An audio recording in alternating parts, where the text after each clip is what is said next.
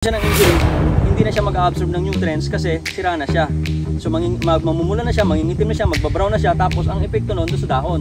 Nakikita mo yung dahon mo na mamula na, na nagdidilaw na.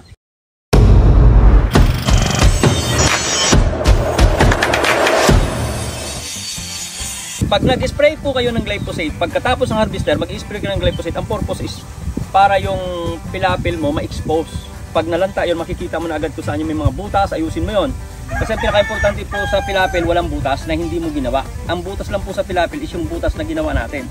Yung hindi mo ginawa is hindi dapat yon. Bakit? Nahirapan ka doon, mag-control ka ng tubig, paano mo, paano mo makontrol yung damo. Pag may butas-butas ang pilapil mo, sablay yon. Dito sa atin, marami ditong pilapil, ganito lang kababa. Hindi dapat. Ang pilapil kasi talaga, mas possible, mataas talaga yan. Kasi kung hindi mo tataasan yan, tendency hindi ka makakapagpa-submerge ng tubig. Okay? So yun na. Spray ka ng glyphosate, kalahating sardinas. Sabi nyo rito, ilan ang simpla? Hindi, minsan doble pa. Isa't kalahati. Mga dalawa. Pag sa, pag sa pilapil, hindi pwede. Kasi ang pilapil kasi is permanent structure, di ba? Sa Tagalog, permanente na talaga yan. Permanent structure yan ng, ng palaya natin. Kung kung i-spray natin yan ng ano, kung i-spray natin yan ng ah, isang sardinas, magigiba yung pilapil. Bakit? Kasi may soil erosion yun eh. Mawawala yung anchorage nung, nung roots doon sa ilalim, luluwag siya, gigiba. So kalahating sardinas. Okay, pag spray mo ng kalahating sardinas, ayusin mo mga pilapil lahat, pinagdaanan ng mga, mga harvester, ayusin nyo lahat. Okay, pag naayos nyo na, ah papatubigan mo na kasi ito yung unang, pur- yung unang purpose mo kasi dito. Di ba minsan eh, nag, nag, ah, nag-harvest tayo ng ano, yung malalaki yung mga ano, yung mahaba yung mga mga rice straw. Damn. So napakahirap daw nilang mag-araro. Alam mo naman ng farmer, kailangan hindi nahihirapan eh, di ba? So, yon gagawin natin ngayon ganito. So, spray ka na agad, eh, papatubigan mo na agad ng malalim. So, kaya sinasabi ko dapat mataas ang pilapil mo kasi bakit?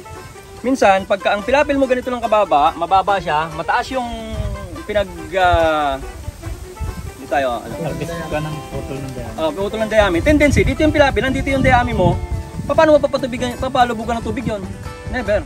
Hindi hindi abutin ng tubig to. Abutin ng tubig. Imposible abutin ng tubig yan. So, kahit magpatubig ka pa rin, dry pa din yung taas. So, pag nag-spray ka ng enzyme, wala rin yun.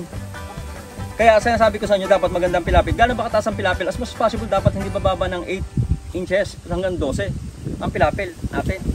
Okay? So, kontrolado mo talaga yan. Ganyan dapat ang pilapil. Dapat, tapos dapat talagang permanent structure siya. Hindi yung pag inapakan mo, titibag.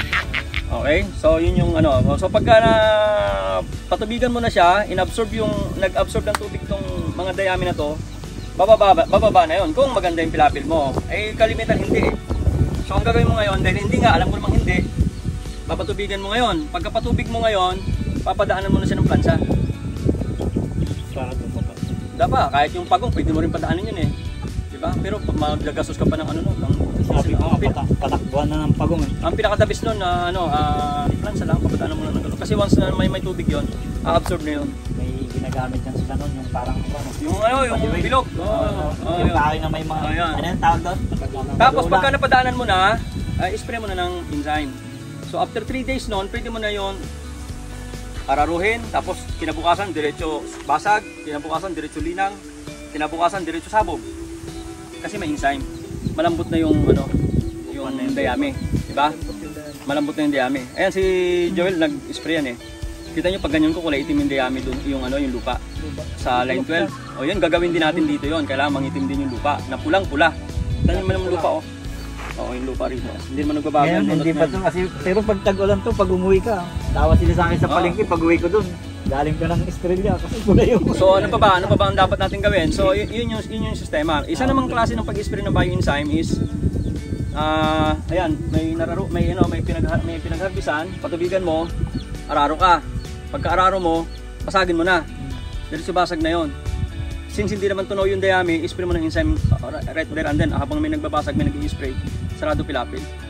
Yan ang yan ang yan ang technique. Pagka sarado pilapil, kailan mo ulit eh, nagmamadali ka. Alam mo naman dito si madali eh.